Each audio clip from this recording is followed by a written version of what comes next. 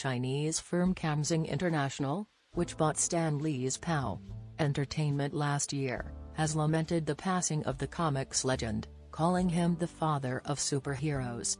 It also vowed to push on with the development of Stan Lee IP. A statement from Shane Duffy, CEO of POW Entertainment, read, We at Stan Lee's POW Entertainment are saddened by the loss of our friend and mentor Stan Lee, the father of pop culture.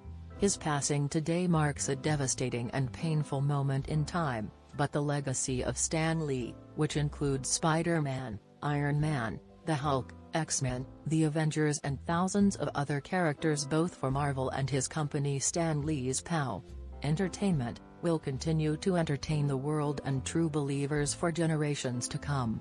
Our thoughts and prayers are with his family and the fans of not only his work, but of him, as a friend who made the world a better place.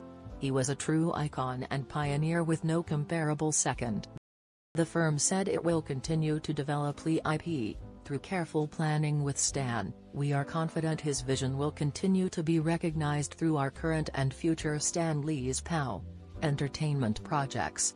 The group will firmly push forward the development of Stan Lee IP and strive to integrate Stan Lee elements with Oriental tradition to realize Mr. Stan Lee's great vision. Comics icon Lee passed away on Monday 12 of November, aged 95.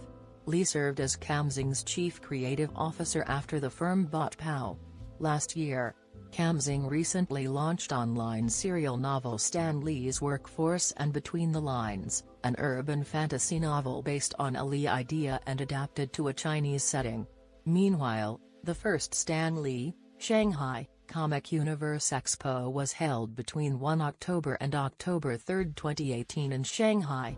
The group is also cooperating with KBS Hallyu Investment Partners to create the first Korean drama adapted from Stan Lee IP, and is working on an Asian superhero movie with linking Star Picture. What do you think about it? Share your opinion in the comments below the video. And also subscribe to the channel not to miss new, interesting videos.